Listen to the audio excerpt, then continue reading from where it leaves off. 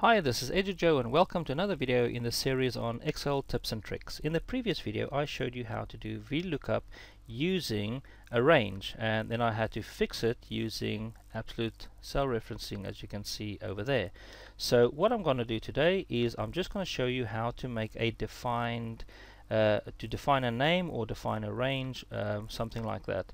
So because in our VLOOKUP we refer to this range over here, I want to give it a name just to make it easier to work with so you don't have to go change things. So what you do is you just highlight the range, then anywhere in that area you right click and you go and you say define name. I click on define name and I'm going to call this, um, let's call it movies right? And then I say okay also see that by doing that it automatically puts absolute cell referencing in over there. So I say okay and now that's done. Also you can see while that is highlighted you can see the word movies over there.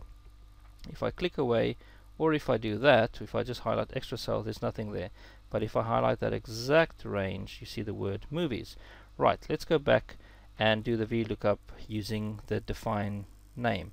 So I go equal VLOOKUP, open bracket, same as before. I click on the uh, lookup value, comma, then I type in movies, which is my um, range that I defined, comma, now it wants the column index, we know it's the second one it wants to return.